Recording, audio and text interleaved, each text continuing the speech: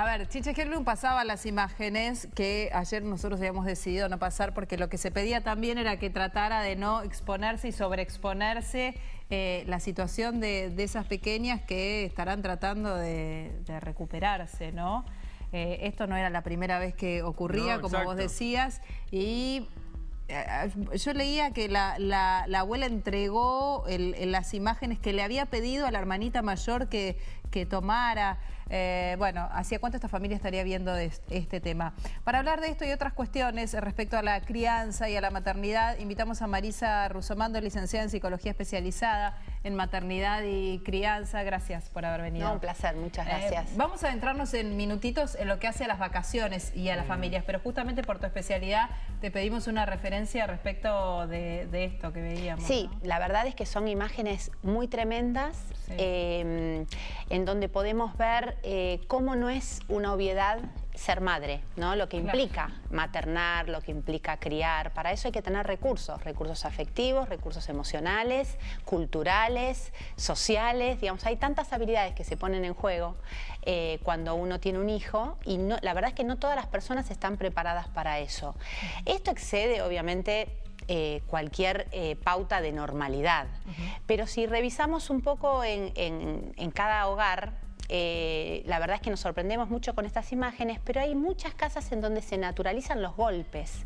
Entonces me parece que e, este tipo de material eh, es interesante cuando uno se pone en cuestión en el día a día cómo cría a los hijos y si los ambientes en casa de verdad eh, tienen armonía, tienen amor, tienen paz, porque no siempre es así. Yo en el consultorio escucho en muchas casas se naturaliza lo que se llama el chirlo, lo que, mm. el tirón de oreja, el, tirón del Exactamente. Esto es un exceso, Exacto. Esto, es, un extremo. Cualquiera, el otro también es un exceso, ¿eh? Sí, el otro es un exceso, esto es un extremo. exactamente, ¿Eh? estaría de acuerdo ahí. Esto es como, ¿cómo puede ser? Sí, todos lo van a condenar sin lugar a dudas. Exactamente, esto es un extremo, pero me parece que está bueno eh, tomarlo como referente para ponernos en cuestión en lo que hacemos todos los días en casa, porque ningún golpe está justificado, porque ningún tipo de agresión eh, está justificada en ningún tipo de relación, tampoco en la relación entre padres e hijos. Esto viene de... Hablábamos hace un ratito del caso Cacho Castaña, por ejemplo, otra generación que está acostumbrada a otras cosas,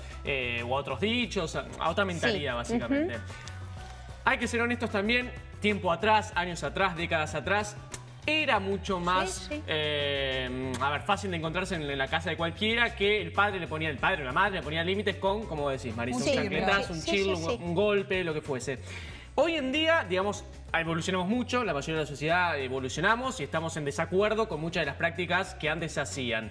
¿Cómo hacemos como hoy, siendo madre, siendo padre? Vos dijiste, madre no se nace, se aprende. Porque viste, muchas veces se dice, bueno, quedo embarazada la mamá o el papá y ya sé cómo ser padre y madre. No es así, básicamente, no es Exactamente. Sobre el hecho biológico hay un montón de otros ingredientes que hay que poner en juego para poder ser madre. Pero si tenemos la referencia esa de los golpes, por ejemplo, eh, o del chido. Bueno, yo en el consultorio escucho mucha resistencia a poner eso en cuestión, ¿eh? porque la mayoría justifica esos, esos actos diciendo, bueno, yo en mi casa, a mí, a mí me pasaba.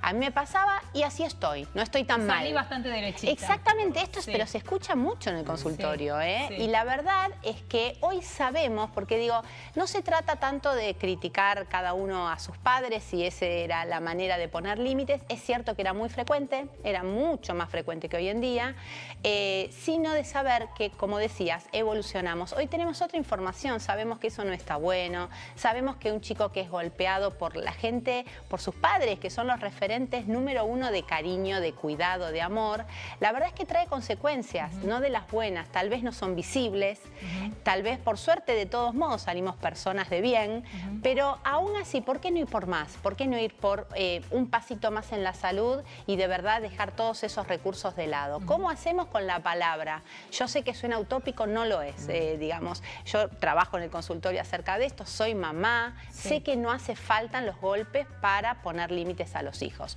Hay que trabajar de otra manera, es cierto, es trabajo, eh, pero para eso están los recursos que tienen que ver con, poner límites mediante la palabra y no estoy hablando ni siquiera solamente de reto, de castigo, de gritos, que también podrían ser recursos, sino hay otros recursos que podemos hacer uso, que es el humor, que es la negociación. Eh, hay tantos... el golpe es la salida, digamos, más violenta claramente, pero a la vez la salida, más fácil. No es salida el golpe, No, a ver, pero yo digo, en el criterio de esta gente, estamos hablando de mm. algunos pacientes, o, de, gente que, va a tu consultorio y que habla acerca de la crianza, dicen, no, bueno, ¿sabes qué? Se portó mal, le doy un chirlo y es lo más fácil, la salida para que se comporte. Eh, eh, digo, los tiempos son muy distintos también para, para, los, para los chicos, ¿no? Y para las obligaciones de los adultos. No es lo mismo una mamá que antes tenía muchísimo tiempo como para que una que está corriendo todo el día y de repente está sola y de repente, eh, no sé, llega a las 8 de la noche y está sobrepasada por las tensiones y los pibes no lo escuchan y salta por arriba de ella. hay dos frases que hacen las mamás No, no estoy diciendo, lo que digo es tenemos que llenarnos de herramientas para negociar, para aprender esto de la negociación, sin ir al límite de... Porque a veces también es más fácil... Bueno, estás tres días sin tablet. Claro. No sé, Por eso digo que en general los límites se asocian con gritos, castigos y retos, que sí, digamos, sí, son recursos, pero hay un montón de otros eh, que podemos usar en el día a día también para que los chicos vayan diferenciando lo que es grave de lo que no es. Si gritamos todo el día, eh, no se nota que hay cosas que los chicos hacen que son más graves. El tema del chirlo, en general, los padres justifican por, pero es efectivo. Y la verdad, sí, es efectivo. Sí, no estamos diciendo eso. Lo que estamos diciendo es, a, qué exponemos a los chicos. Exactamente. La verdad, yo creo que ninguna mamá, ningún papá que de verdad se detiene a reflexionar podría estar de acuerdo con golpear a su hijo. La verdad yo creo que son esos actos que se repiten, que se justifican un poco en nombre de la efectividad. Y por otro lado, la otra cuestión que aparece en el consultorio es esto de, bueno, si yo veo a mi hijo dos horas por día, no lo voy a estar retando. ¿No? Y la devolución es, si lo ves dos horas por día, en esas dos horas lo tenés que criar, ¿quién lo va a criar?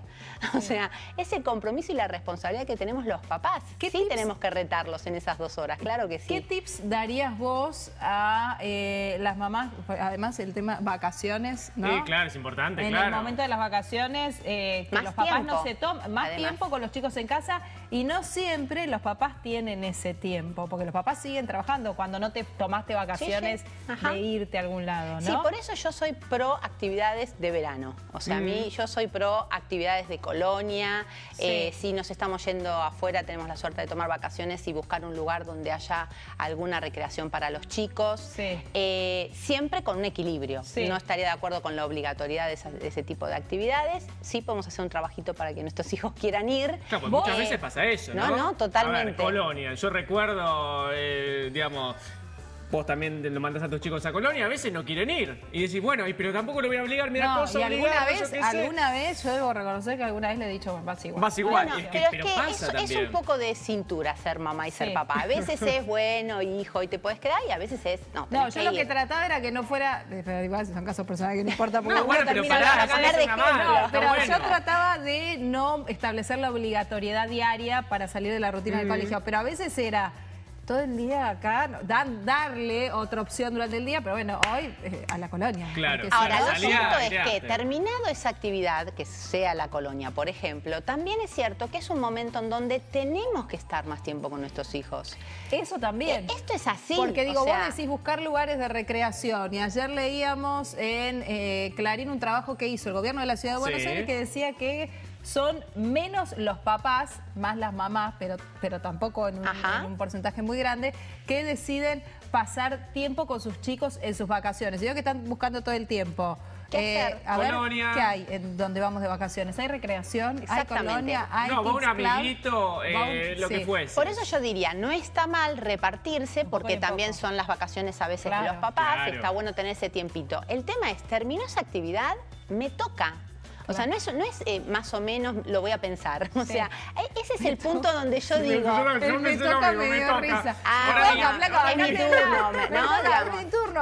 Tratemos de disfrutarlo, además, es que de verdad, crecen muy rápido. Es que de verdad ser mamá y ser papá obviamente es una responsabilidad y un compromiso de todos los días. No hay un momento en el que uno se sustrae te, Ustedes son las madres, ¿no? Claramente. Yo te voy a tirar el rol de no padre todavía sin hijos. Sí. El adulto, el adulto, es más, hasta justificándolas, digo, no necesita también un descanso, no digo de los hijos, porque digo, no, me van a salir a matar, o cómo vas a descansar de los hijos si vos elegiste ser padre para toda la vida. Sí, lo sé. Pero ahora, te tomás vacaciones, 15 días, una semana, lo que fuese. ¿No necesitas un momento, no sé, para relajarte con tu pareja, por claro ejemplo? Que sí. Por eso digo que está bueno los rinconcitos infantiles, están buenos. el tema es que no sea solo eso. que no sea, delegar las vacaciones en otra gente. Digo, son mis hijos, tengo ganas de hacer actividades diferentes a las del año. Si, si de verdad no los proponemos, además, esto que decías, disfrutarlo. Crecen, el día de mañana no podemos compartir eso, mm. compartiremos otras cosas. Y a veces no lo pensamos, esto es lo que a mí me parece, que delegamos y delegamos y no lo pensamos. Y cuando volvemos un poquito, lo retomo con el tema de los límites, no es sin eso, no es sin el vínculo, no es sin haberlo pasado bien, no es sin conocernos en otro tipo de, entorno, en otro tipo de actividades. Es con el vínculo también que tenemos que contar para poner límites. Hoy que los chicos suben la apuesta todo el tiempo, porque en eso sí, ha cambiado mucho cuando nosotros éramos chicos. Los chicos suben la apuesta en forma permanente.